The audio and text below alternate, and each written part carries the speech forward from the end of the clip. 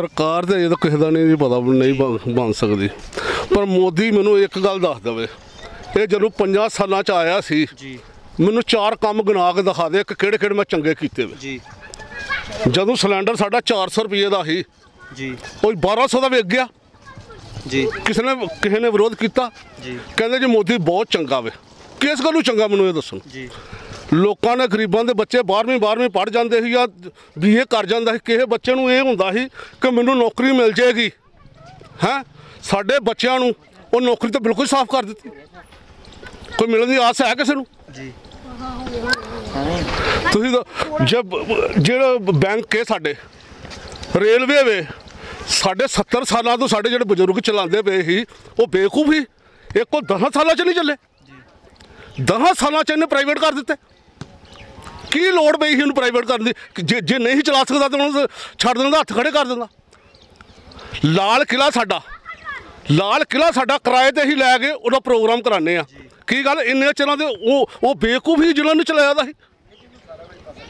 ਹਾਂ ਪਤਾ ਵੇ ਇਹਨੂੰ ਤਾਂ ਤੁਸੀਂ ਵੀ ਕਹਿਣਾ ਵੇ। ਮੈਂ ਕਹਿੰਦਾ ਜਿਹਨੂੰ ਪਤਾ ਉਹ ਔਰ ਪਤਾ ਵੇ ਪਤਾ ਨਹੀਂ ਤੁਸੀਂ ਝੋਲੀ ਚੁੱਕੋ। ਮੈਂ ਕਹਿੰਦਾ ਤੁਸੀਂ ਝੋਲੀ ਚੁੱਕੋ।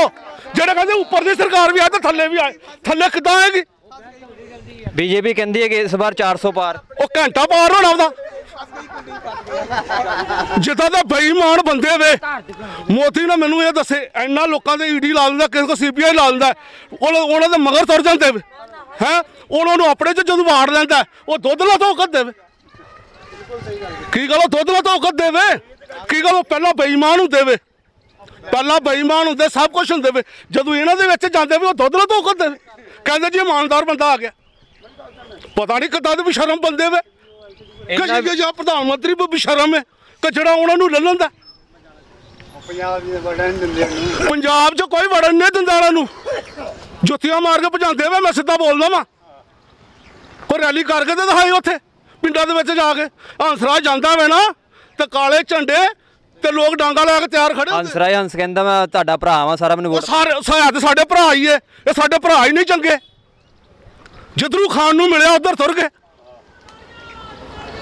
ਜਿੱਧਰੂ ਖਾਨ ਨੂੰ ਮਿਲਿਆ ਉਧਰ ਤੁਰ ਗਏ। ਅਰ ਆਨ ਉਹ ਤੋਂ ਰਿੰਕੂ ਏ। ਰਿੰਕੂ ਉੱਥੋਂ ਦੇ ਇੱਥੋਂ ਆਮ ਪਾਰਟੀ ਕੋ ਜਿੱਤ ਗਏ। ਕੀ ਹੋਇਆ ਨੂੰ ਇਹ? ਕੀ ਬਿਮਾਰੀ ਪਈ ਗਈ ਜਦੋਂ ਰਾਤੋਂ ਰਾਤ ਉਹਨਾਂ ਚ ਵੜ ਕੇ ਜਾ ਕੇ। ਇਹ ਸਿਰਫ ਮਤਲਬ ਪ੍ਰੈਸ ਲੋਕ ਕੇ ਪੈਸੇ ਵਾਸਤੇ ਪੈਸੇ ਵਾਸਤੇ ਕਰਦੇ ਵੇ ਸਾਨੂੰ ਪੈਸਾ ਚਾਹੀਦਾ ਔਰ ਕੁਝ ਨਹੀਂ ਚਾਹੀਦਾ। ਇਹਨਾਂ ਨੇ ਇਹਨੇ- ਨੂੰ ਕਿਸੇ ਨਾਲ ਕੋਈ ਮਤਲਬ ਨਹੀਂ। ਇਹਨਾਂ ਦਾ ਆਪਣਾ ਆਪਣਾ ਕਾਰੋਬਾਰ ਚੱਲਣੇ ਚਾਹੀਦੇ ਵੇ।